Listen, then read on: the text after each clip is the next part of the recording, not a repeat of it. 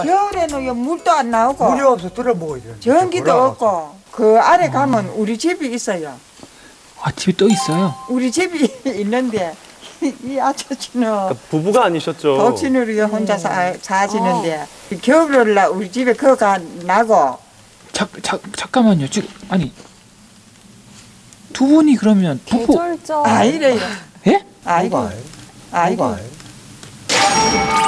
친구 예? 부부가 아니라고요? 이웃 아니 아니 아니시라고요? 예 아이래요. 그러니까 우리가 여 벌이를 둘이 도업을 해가 미겠디래요. 체전을 이제 도업해가 체전해가지고 말라가 이 같이 먹고 그래요. 그러면 두 분은 동업자신 거예요?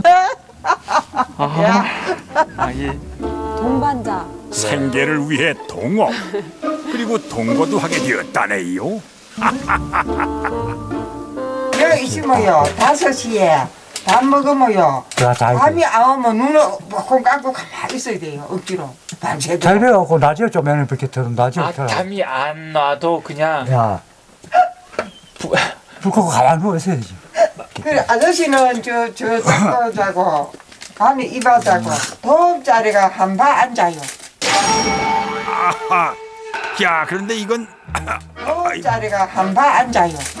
저, 저 아니 그, 잠깐 그안 그래도 좀 여쭙기가 좀 민망해서. 재밌으신가 봐요. 안돼 한 집에서는 주무시는데. 야, 어, 이게 내가 새벽반. 이 방은? 야, 이거 새벽반. 아 할아버지 방은? 한번 줘 줘봐 줘봐 난내 방, 이월 가나가 찍으면 안 돼. 아, 저 방이 그두발 찍은 거야. 딸로 못 따라 에이, 방이 많이 떨어져 있네요. 야, 저렇게 많이 떨어져 있네요. 야.